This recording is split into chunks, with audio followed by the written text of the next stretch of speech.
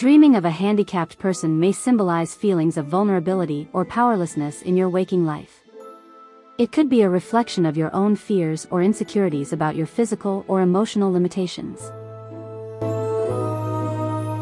Being handicapped in a dream could also represent a fear of dependence or losing independence. It may indicate a need for support or assistance in some aspect of your life. Alternatively, dreaming of being handicapped might suggest that you feel hindered or restricted in pursuing your goals and ambitions.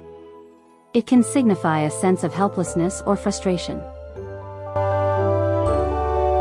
In some cases, Dreaming of a handicapped individual could be a manifestation of your empathy and compassion towards others who are facing challenges. It may reflect your desire to help and support those in need. On a deeper level, these dreams may also point to feelings of inadequacy or self-doubt. They could be a reflection of your internal struggle with self-acceptance and self-worth. It's important to consider the specific details and emotions in the dream to gain a more accurate understanding of its meaning.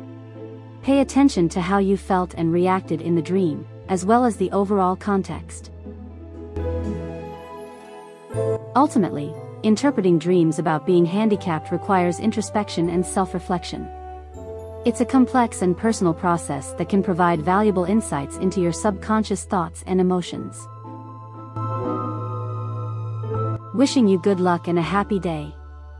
Thank you for watching.